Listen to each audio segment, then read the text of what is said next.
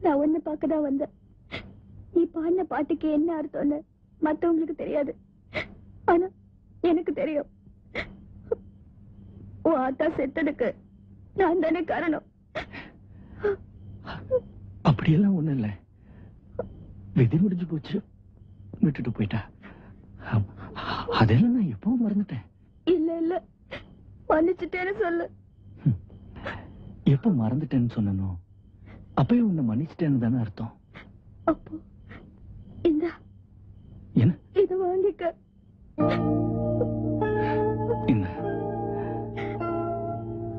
எனக்கு பணம் எல்லாம் வேண்டாம். போற இடத்துல புருஷன் கூட சண்டை சச்சரவு இல்லாம சந்தோஷமா இருக்கணும். நானே. உனக்கு குழந்தை பிறந்தோன்னு எனக்கு சொல்லி அனுப்பணும். அப்பவும் நான் தான் வந்து கூத்து கட்டுவேன்.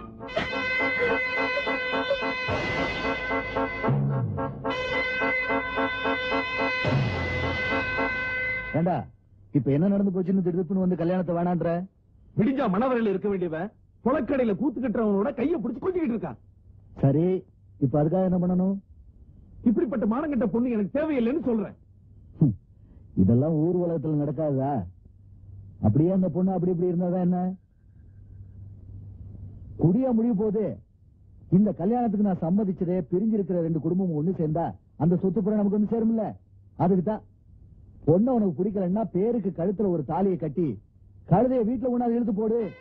உனக்கு பிடிச்சதா ஒண்ணு வச்சுக்க. எங்க அப்பா பாட்ட செய்யாததா? இல்ல நான் செய்யாததா? நீ என் பாரம்பரியத்தை காப்பாத்துவியா.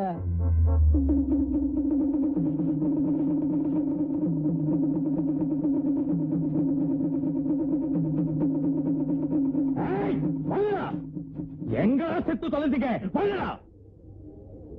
வள்ளியூரா விட்டு கல்யாணம் நிச்சயதார்த்தத்தோட நின்னு போச்சுன்னு போய் சொல்லுங்கடா.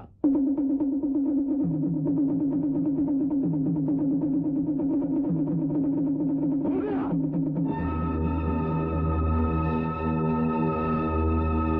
அண்ணே அண்ணே என்னண்ணே இது?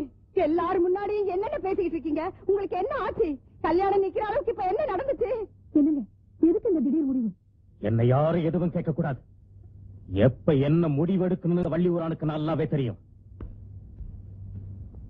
மச்சான் என்ன முடிவு எடுத்திருக்கிறாரு நான் தெரிஞ்சுட்டா நல்லா இருக்கும் என்ன இங்க கூச்சல் குழப்பம் ஏன் எல்லாரும் எந்திரிச்சு நிக்கிறாங்க என் மான மரியாதை எல்லாம் ரோடுக்கு வந்துடக்கூடாதுன்னு தான் இப்படி ஒரு முடிவெடுத்தேன். அப்படி என்ன மச்சான் நடந்து போச்சு? நீயும் மகனும் பேசிக்கிட்டு இருந்ததெல்லாம் கேட்டுக்கிட்டு தான் இருந்தேன். இனிமே என்ன மச்சான்னு கூப்பிடறதுக்கு உனக்கு யோக்கியதையே கிடையாது. யார பார்த்து என்ன பேசுற? ஏய் சும்மா. நீங்க பேசுங்க மச்சான் நீயும் உன் மகனும் முறப்பொண்ணுக்கு வாழ்வு கொடுக்கத்தான் வந்திருக்கீங்க நினைச்சிட்டு இருந்தேன். ஆனா சொத்துக்காகத்தான் இப்படி எல்லாம் வேஷம் போடுறீங்கிறது புரிஞ்சுக்கிட்டேன். என்றா எதிர நீதான் உன் மானத்தை விட்டு என் வீட்டுக்கு வந்து என் பொண்ணை உன் பையனுக்கு கட்டி வைன்னு கேட்டியே தவிர நான் ஒண்ணு கேட்கலையே. நீங்க ஏன் அந்த பேசிக்கிட்டு வாங்கப்பா போவோம். என்னங்க? வாய மூடல. உங்க அண்ணன் ஆச்சேன்னு பாக்குறேன். வேற ஒருத்தனா இருந்தா சீவிடுவேன் சீவி. ஏய் யாருகிட்ட என்ன பேசுற நீ? ஏய் வண்டியை கடை சொல்லுங்கடா. என்ன? வாடிங்க. வாடி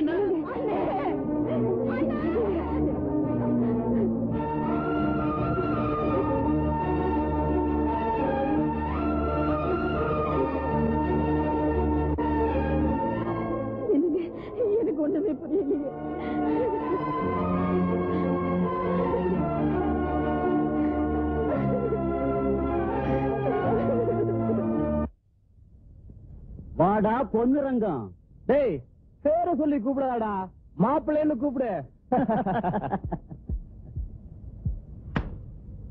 முட்டையா மாப்பிள்ளன்னா எப்படி? பள்ளி ஊரா மாப்பிள்ளன்னு சொல்லுங்கடா.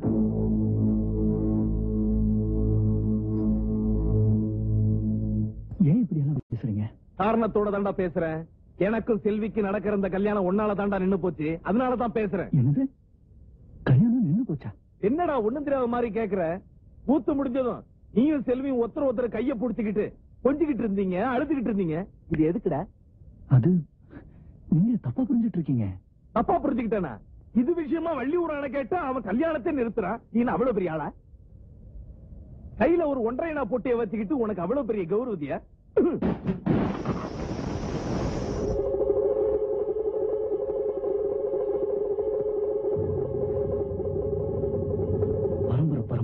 சோறு போடுறது அந்த பெட்டியும் அதுல இருக்கிற சலங்கையும் தான். அதை அவமானப்படுத்திட்டே என்னடா பெரிய கேவலம்?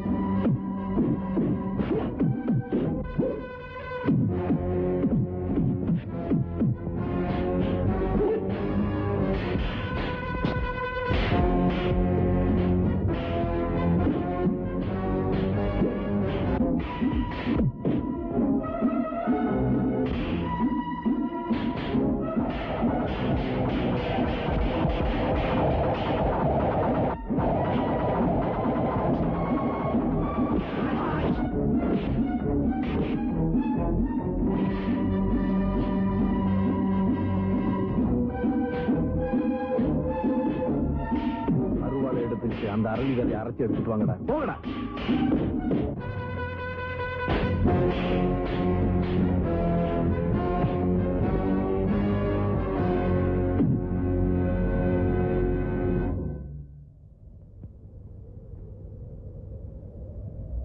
தடவுங்கடா.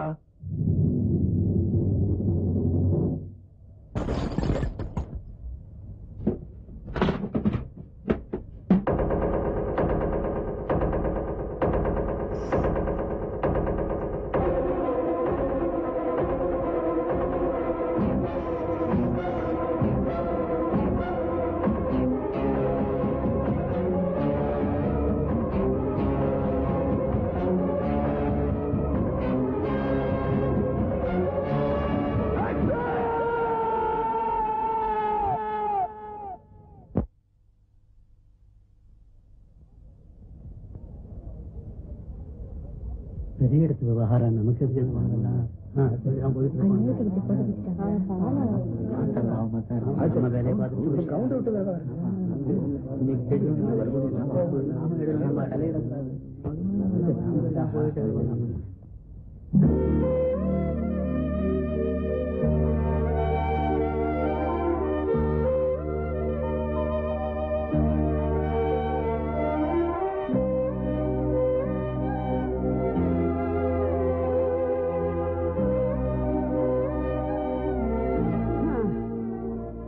உள்ள பொழப்பு அவ்வளவுதான்.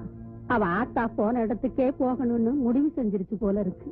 வெட்டின சண்டாள அருவாள்ல அரளி வெறி அரைச்சு தடவி வெட்டி இருக்கான் உடம்புல பூரா விஷம் பரவி போச்சு.